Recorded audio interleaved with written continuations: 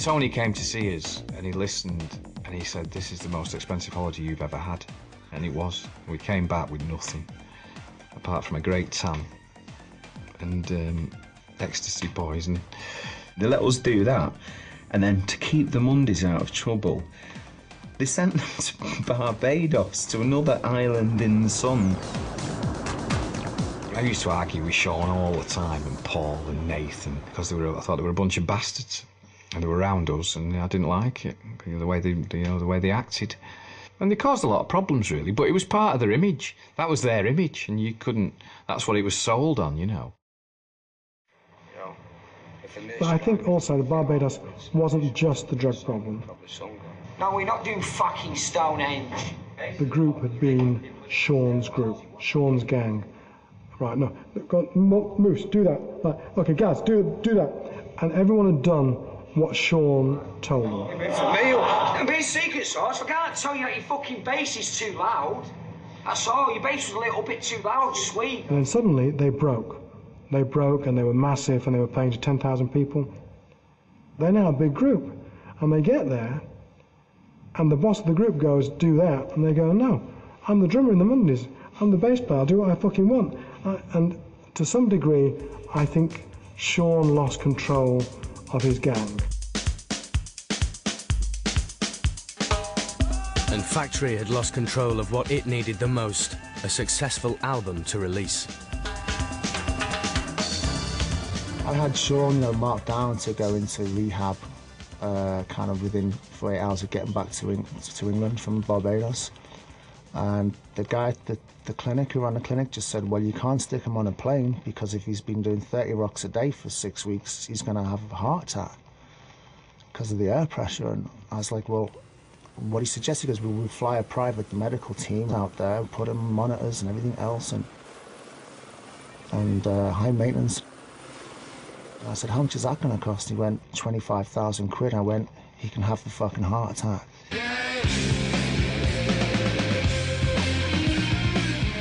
Hot on the Monday's return to Britain was the arrival of grunge. The music press turned its attention from Manchester to Seattle, from the Happy Mondays to Nirvana. When the Barbados album Yes Please was eventually released in 1992, the critical response was no thank you.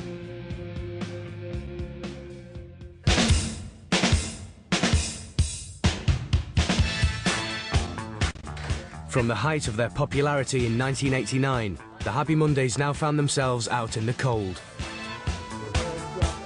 With New Order at each other's throats over money and the Hacienda, their new factory album Republic was delayed. The company had nothing big to sell. Why Young Factory? No one else wants us. They had no acts. A record label, I don't care who they are, if they've got no acts, they're going to go under. Wilson's factory was collapsing. Financially, he had less to lose than his partners. His face was still all over regional TV. Good evening. Welcome to the State of the Region. The people of Britain actually regard the poll tax as more important to them than your constitutional issue. I've got an upper middle class day job. I'm a TV presenter. You know, what am I going to fucking do in my life? The person who should have been pissed off was Alan, because Alan was an out of work actor. He should have been worried about making money, but he wasn't. Factory had invested in property, lavish new offices, and the hacienda. They now needed bank loans, mortgages, and outside investors.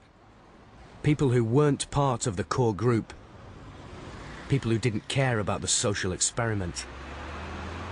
People who wouldn't wait to get paid. Personally speaking, I think Tony got carried away. The offices, you know, the offices were too much. And, and if you're going to, all right, if you're going to do that, build massive offices and have this empire, then you have to be serious about what you're doing.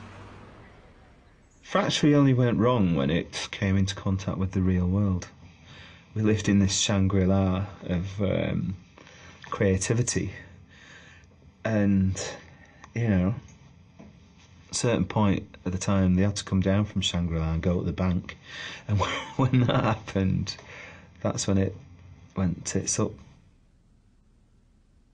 It had survived on other forms of investment, in a way the kind of investment, the investment of belief, and fundamentally, the investment of life and lives. With Ian making perhaps, you know, the most profound investment in the future of factory. Saville once said to me, Tony, you think you run a business. Can you think of any decision you or Alan or Rob ever took to make a profit? And obviously, after about a few seconds, I realized I could never in a million light years think of anything we ever did to make a profit. In fact, we survived so many times through so much shit that we got used to being survivors. So when we finally went bankrupt, it was a bit of a, this wasn't meant to happen. It was, I always thought we'd survive everything. But in the end, you can't survive everything, not your own stupidity.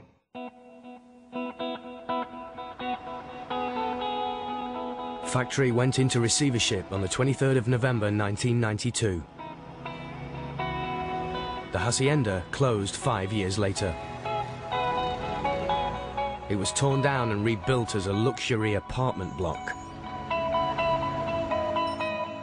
Ironically, it retains the same name, a capitalist hijack of factory's utopian dream. But in the end, it was the dream itself that mattered. It changed, it changed the city. I, I, think you could trace back the whole redevelopment of Manchester to the Hacienda, to Factory Records. The whole idea, let's make something of the city that's, you know, that we live in, gave the city a confidence that it had a really hip kind of pop culture in it. It wasn't just football; it was like music as well. And the idea of having this kind of great big kind of steel and crow building in centre Manchester club, it's like every flat looks like that now. The whole city has become the Hacienda. The ironically, Hacienda's gone, and the, the, the whole the rest of it is full of them. It's like it's spread, it's spread all over the place. History of rock and roll is the history of small cities, uh, be it Seattle, be it San Francisco, be it Liverpool. And these cities have three years in the sun. And then the clouds come over again, it's like it never happened. But Manchester, from the Pistols in June 76, right the way through to whenever Oasis took too many drugs to actually make sense, for nearly 20 years, Manchester was the music city in the world. It's almost like some weird willpower that maybe Wilson's got that creates ultimately a kind of story that, that makes sense of all the, the weird coincidences and mistakes and, and, and follies that, that they, you know, foolish thoughts that they were having. But foolish thoughts always based within manifestos, and oddly enough, the manifestos they were having about why they wanted to open a nightclub, changing the landscape of Manchester, making it a more modern city where economic forces and avant-garde forces would gravitate towards because it was so interesting. Oddly enough, all of that happened.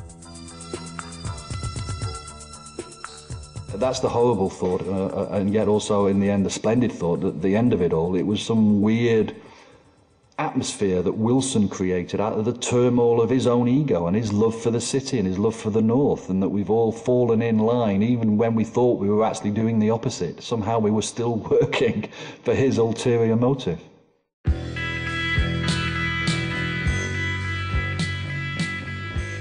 It did feel like it was, it was, it was more than just a record label.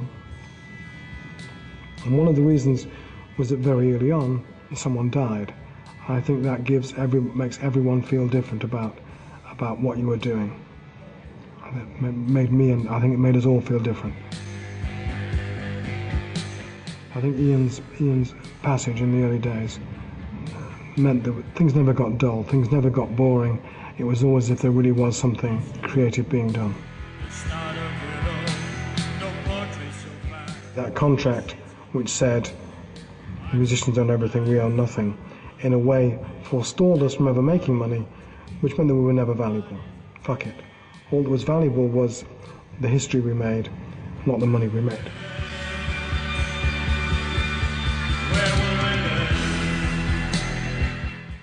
Thinking Man's comedian Stephen Fry is joined by Jo Brand and Alan Davies in QI next.